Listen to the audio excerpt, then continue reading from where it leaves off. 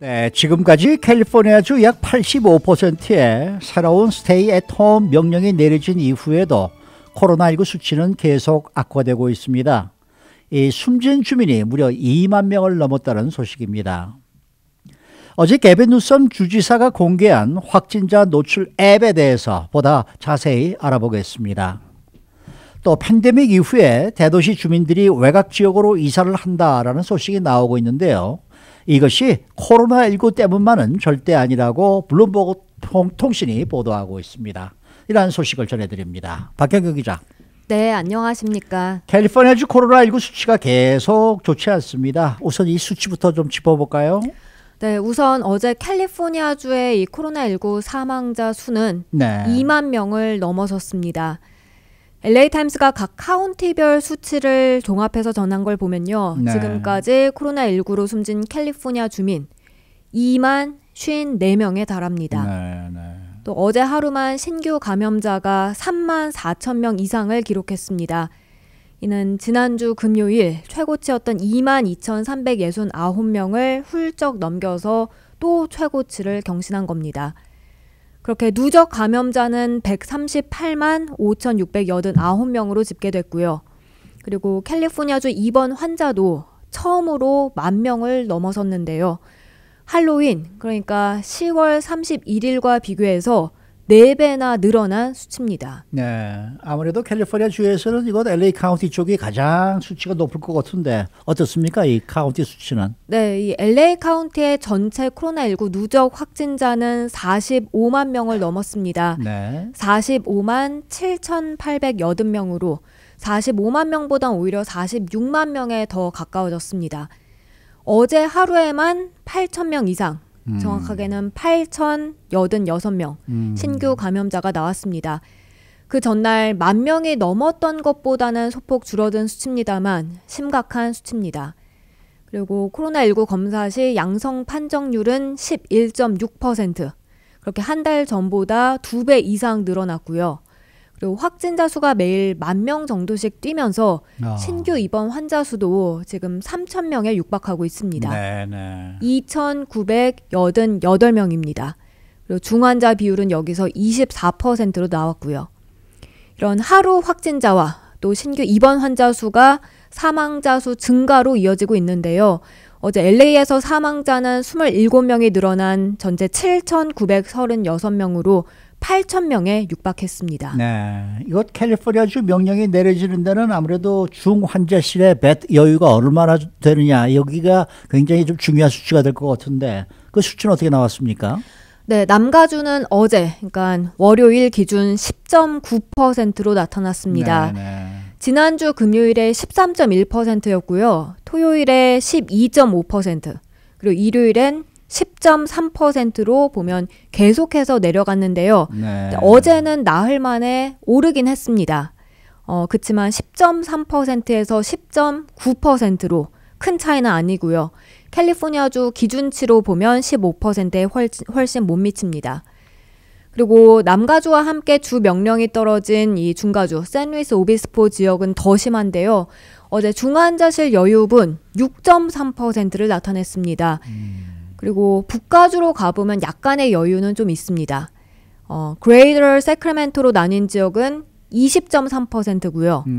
어, 북가주, 그러니까 Northern 캘리포니아는 28.2%로 나오고요. 네. 그리고 Bay Area는 25.7%인데 이전에 전해드린 바와 같이 이곳은 15% 내려갈 때까지 기다리지 않고 어, 명령에 그냥 따르기로 했습니다. 네.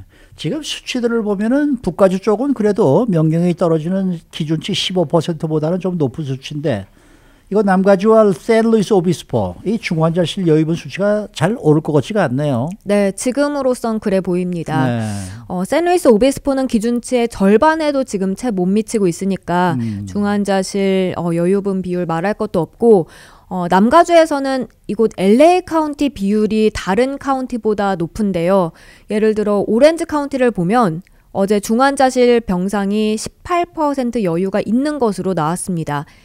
근데 이곳 LA 카운티 보건국의 바바라 퍼레어 국장은 추수감사절 연휴 수치가 아직까지 반영되지 않아서 수치가 더 오르는 게 놀랍지 않다고 말했는데요. 추수감사절이 지난달 26일이었으니까 2주가 지나는 시점을 보면 오는 10일 목요일입니다. 음, 네네. 그렇게 그 후에 신규 감염자 수치가 더 늘어날 걸로 우려되고 있고요. 그러고 나서 시간이 더 지나서 감염자들이 아파 입원하고 그 입원한 사람들이 또 중환자실로 가고 음흠. 이렇게 악화될 가능성이 현재로서 높아 보입니다. 근데 어차피 캘리포니아주의 이 새로운 new, 어, stay at home 명령이 3주간 지속되는 만큼 그렇죠. 남가주와 샌루이스 오비스포는 적어도 이달 28일까지는 명령 속에 지내게 되는데요. 캘리포니아 주민 수천 명에게 unwelcome gift다. 가장 원치 않는 크리스마스 선물이 됐다는 지적입니다. 네. 어제 개빈 뉴섬 캘리포니아 주지사가 좀 평소보다는 좀 이르게 이 브리핑을 했었는데 주변에 확진자와 노출 여부를 알려주는 시스템을 확대 도입하겠다 이렇게 발표를 했었습니다. 이게 도대체 어떻게 작동되는 거예요?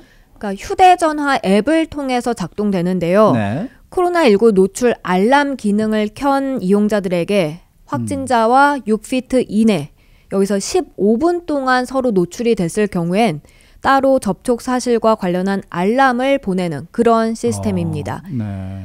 해당 서비스는 이제 아이폰 유저와 안드로이드, 안드로이드 폰 유저로 나눠볼 수 있는데 아이폰을 사용하는 경우 앱을 따로 다운받을 필요는 없습니다.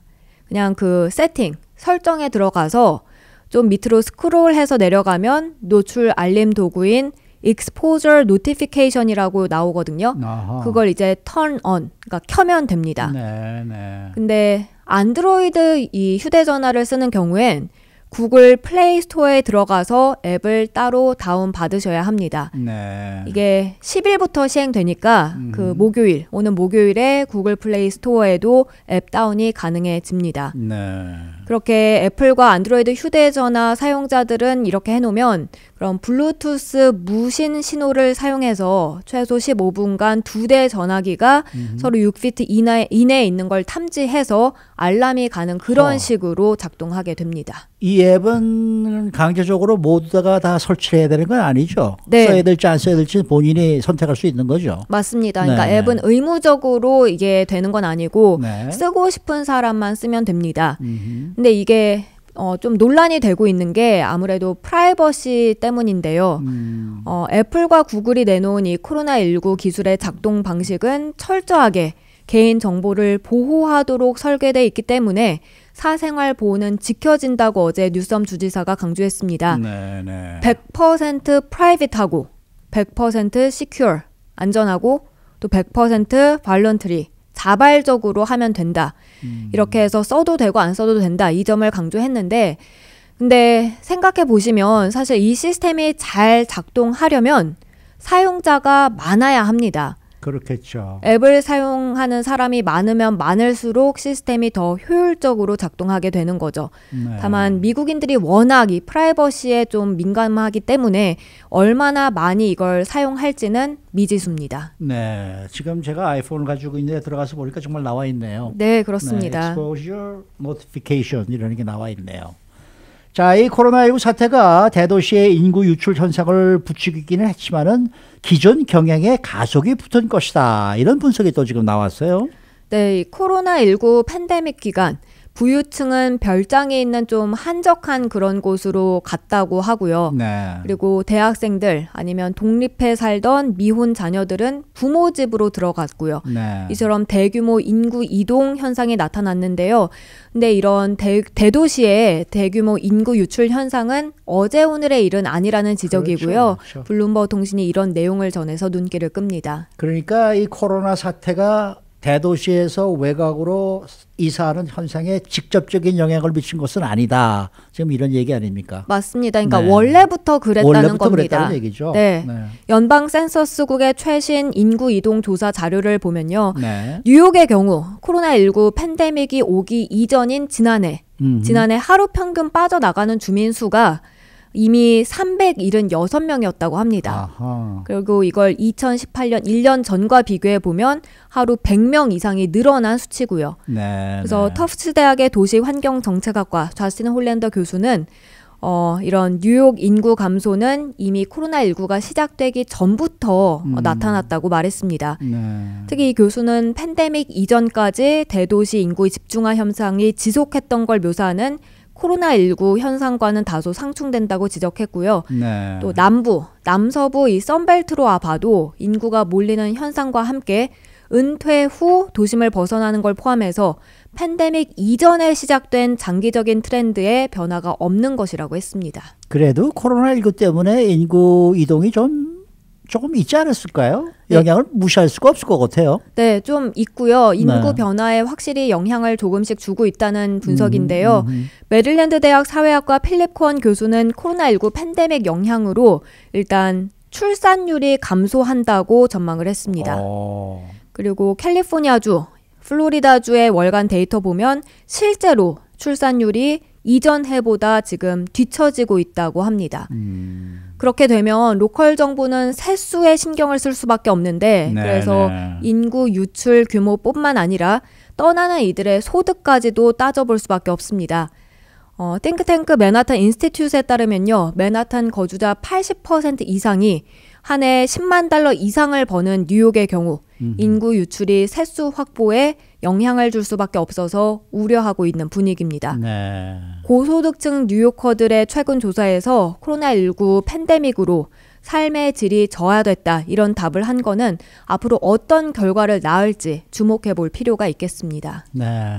그런데 코로나19 팬데믹 영향으로 출산율이 감소할 것이다라는 전망은 조금 이해가 잘 안 되는 내용이네요. 다들 집에 있으면 네. 오히려 출산율이 올라가지 않을까 생각이 사실 드는데. 처음에는 네. 출산율이 그렇게 지금 말씀하신 대로 어허. 오를 걸로 나왔었는데 어허. 너무나 이 코로나 블루 그러니까 어. 이게 우울해지고 어. 그러다 보니까 또 앞으로 아이를 낳아봤자 이렇게 좀 어두운 세상에서 키우고 싶지 않다는 허허. 그런 어, 생각이 확산하면서 어. 출산율이 이제는 좀 줄어들 줄어든다. 것이란 전망이 나왔습니다. 네, 네, 알겠습니다. 수고 많으셨습니다. 네, 고맙습니다. 박현경 기자였습니다.